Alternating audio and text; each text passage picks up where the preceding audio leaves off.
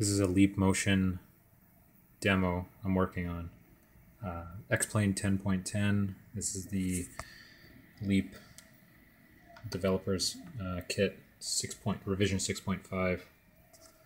Um, at the moment, I only have it set so that you have to control with a pointed finger. So up and down controls your uh, pitch, and left and right controls your roll. Uh, eventually, it's going to be um, more realistic and you're going to be able to use both hands.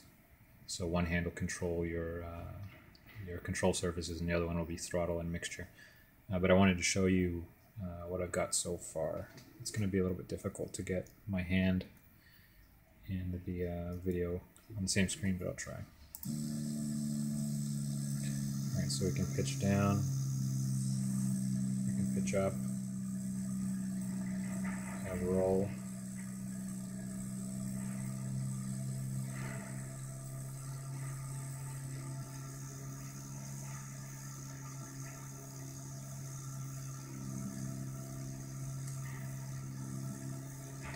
It's very responsive. There's zero delay between the uh, movement of my finger and the response on the screen.